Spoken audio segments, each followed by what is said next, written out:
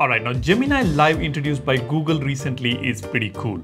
We can do back and forth live conversations using this feature on the virtual assistant. Likewise, we do have live conversation feature on ChatGPT from OpenAI.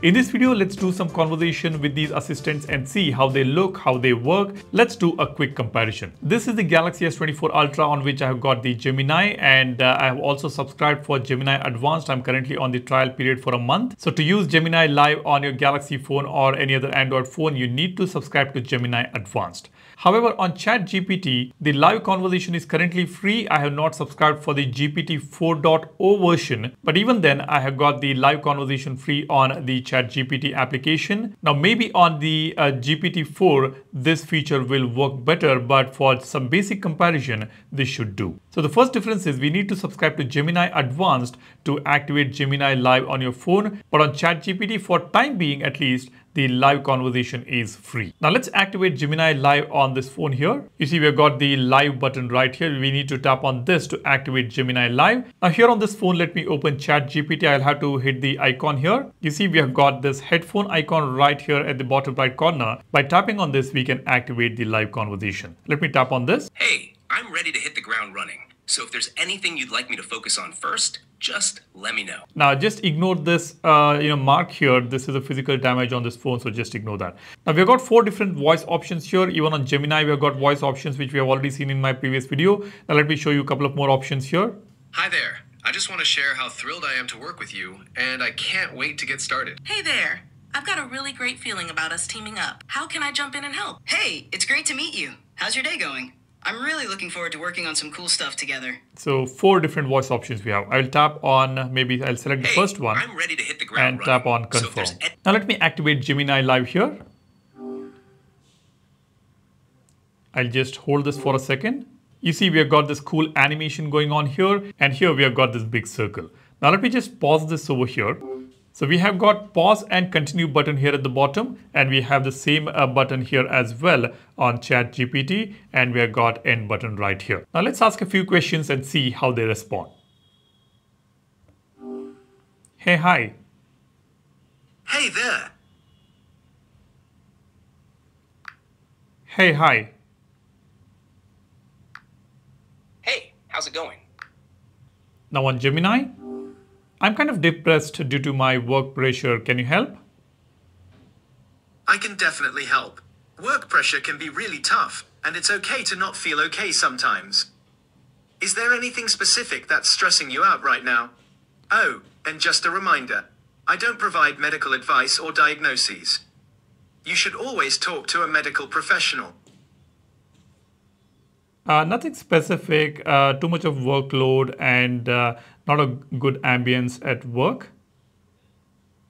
Feeling overwhelmed is totally understandable, especially if your workload's piling up.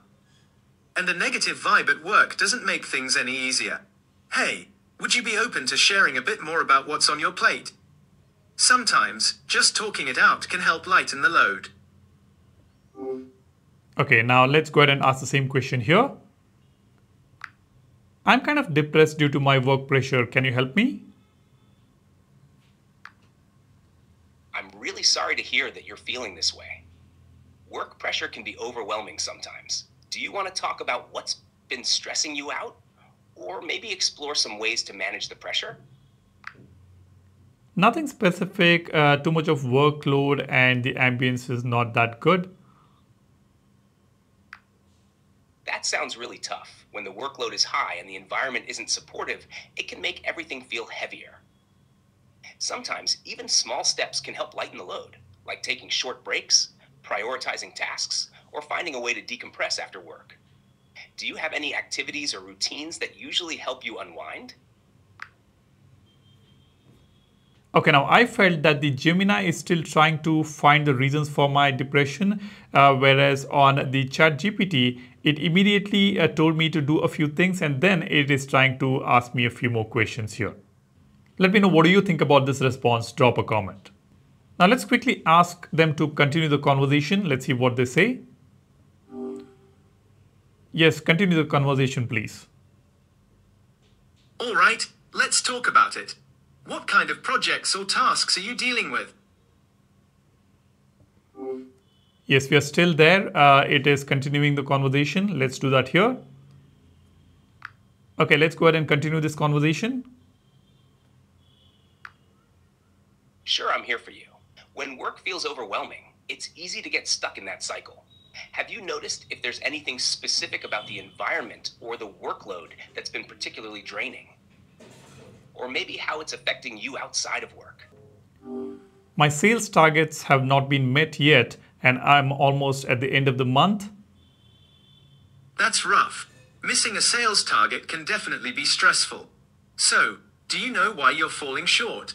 Is it that you're not closing enough deals, or are the deals themselves too small?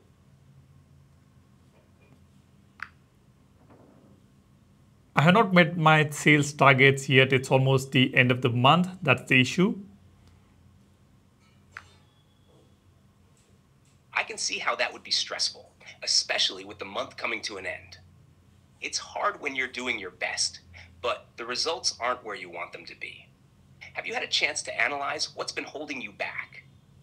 Maybe we can brainstorm some strategies together to help you finish the month strong. Now, these are the kind of responses we are getting on this. You let me know what do you think about this in the comment section. Let's move to the next question. Can you help me prepare for my job interview? The profile would be selling real estate. Absolutely. Selling real estate can be a really rewarding career, but it definitely has its challenges. To start, what kind of real estate are you looking to sell? Residential, commercial, or something else? Residential? All right, residential real estate. Well, there are a few things that are key to success in that field. First, you've got to really know your market. That means understanding things like average home prices in different neighborhoods, what buyers are looking for in a home, and even what interest rates are doing. Second, it's all about building relationships. The more people you know, the better chance you have of getting leads and referrals. Okay, is that it? Nope, there's more. You'll also want to get really good at sales and negotiation. Selling a home isn't just about showing houses, it's about convincing people to part with a ton of money. You'll need to be able to answer their questions, address their concerns, and guide them through the whole buying process. You also mentioned your current job is stressing you out. How about this? Let's brainstorm some ways to manage that work stress while you get ready to tackle this new opportunity. Okay, now this is pretty cool. While it is suggesting me to prepare for my uh, job interview, it also brought up the previous uh, topic which I was discussing with Gemini, that is the work stress, and uh, it is willing to help me with that as well at the same time. Now let's ask the same question here. Can you help me prepare for my job interview? The profile would be selling real estate. I'd be happy to help you prepare. Real estate sales interviews often focus on your sales experience, understanding of the market, and ability to build relationships. Do you want to practice answering common interview questions or focus on a specific area like handling objections or discussing your sales strategies? You can cover all of that. Great. Let's start with some common interview questions for real estate sales roles. One, can you tell me about your previous sales experience? This is where you highlight your successes and how they relate to real estate. Focus on any experience you have with client interactions, negotiations, and closing deals. Two, how do you stay informed about the real estate market? Employers want to know you keep up with market trends. You can mention reading industry publications, attending seminars, or using market analysis tools. Three, how do you handle rejection or difficult clients? Explain how you stay positive and professional, using examples of how you've managed tough situations in the past. Four, what strategies do you use to generate new leads? Share any techniques you use to find and attract potential buyers or sellers, such as networking, social media, or referrals. Five, how do you prioritize and manage your tasks? Since real estate can be fast paced, they'll want to know how you stay organized and ensure you're meeting your targets. Do any of these questions stand out to you, or is there another area you'd like to focus on?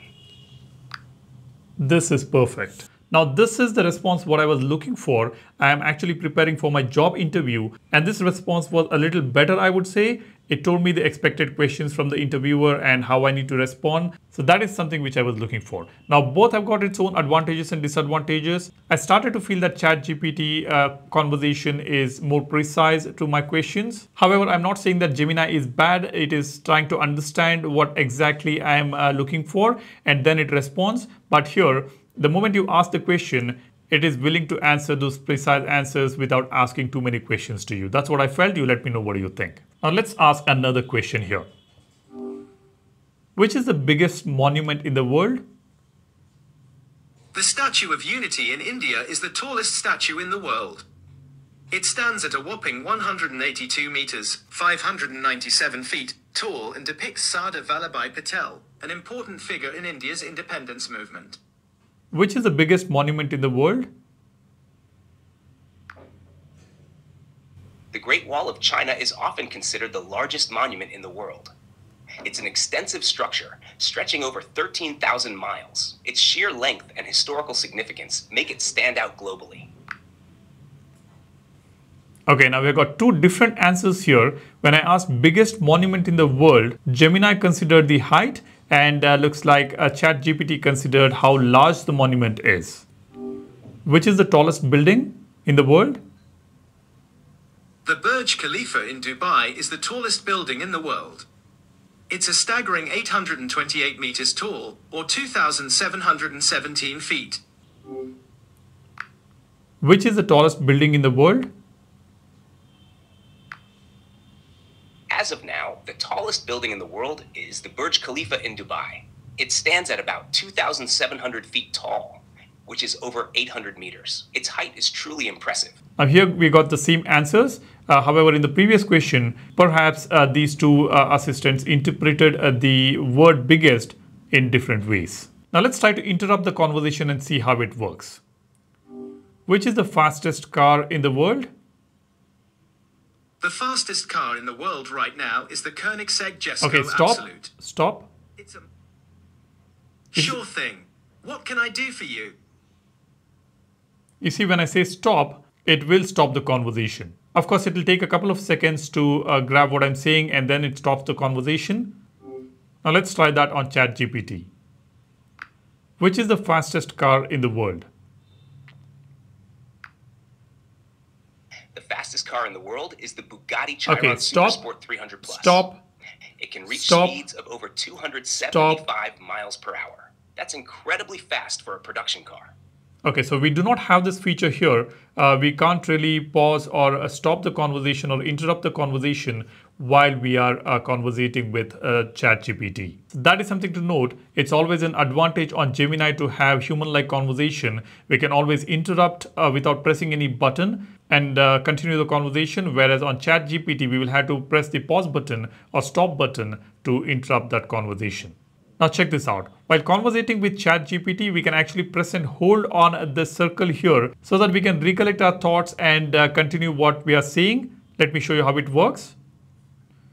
Hey, I was trying to go to this place called,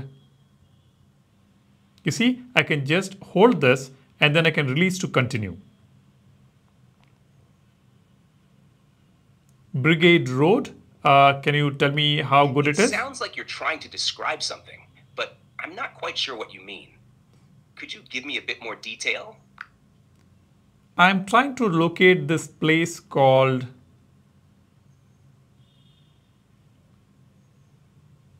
Okay, now I'll have to hold it like this and then start continue uh, then continue the conversation.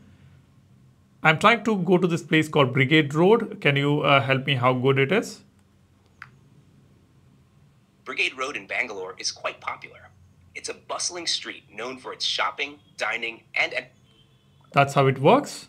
And when I close this conversation, of course, we've got all that conversation we had here in the text form, which is there available on this Gemini as well. Now let me try to hold a conversation. Let's see we have got this option here or not. Hey, I wanted to go to this place called Brigade Road. Can you tell me how Now I can't really hold anywhere here. I'll have to pause it. I can't really recollect my thought and uh, continue conversation with uh, Gemini Live, whereas I can do this on ChatGPT. Now let me end this conversation. You see we have got everything available here as well in text format. Just in case if you want to jump back and check out all your conversation, you can do that right here on Gemini Live as well.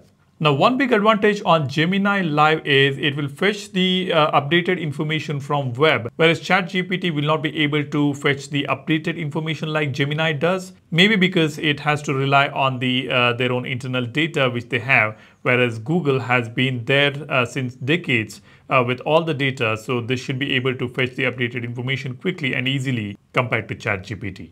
Now, as far as the languages are concerned, approximately 40 languages is supported on uh, Gemini Live, whereas on ChatGPT, we have got more than 80 languages uh, which is currently available. Now, the next important question is whether this live conversation works in the background if the phone is locked. Yes, that works on Gemini Live, but on ChatGPT, it doesn't work. Let me show you how. Let's start a conversation here. Hey, how is the weather today? There will be scattered thunderstorms, with a high of 26 and a low of 20. You see, I've locked the phone, it still works. Okay, uh, tell me the uh, weather conditions for the next 10 days. So, I can't show you the weather forecast for the next 10 days right now, but I can tell you what it looks like. Overall, it's Okay, looking like a pretty typical rainy season. All right, let's change the subject. What do you want to talk No, about? stop. That's all I wanted to know. Right Thank you. Okay, I understand. Is there anything else you'd like to talk about, or can I help you with something different? No, thanks. All right. Well, I hope your day gets better. Feel free to reach out if you change your mind. So that's how it works when the phone is locked. Let's try this here. Sorry, but I can't help with that. As a safe AI assistant, Looks like it is still active here.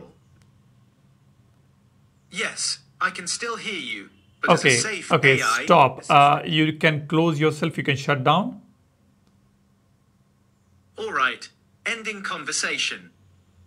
That's how we end the conversation here on Gemini, even when the phone is locked. Now let's do this here. Okay, I understand. Oh my god, it is still working. I don't know why it's still live. Uh, maybe I'll have to go here and uh, stop this. Yes, it's still live. It did not shut uh, down itself. Let me just end this. Now let's try this here. How is the weather? Is there something specific you want to know about Brigade? It's not going to work in the background, so that's a big advantage we have got on Gemini Live here.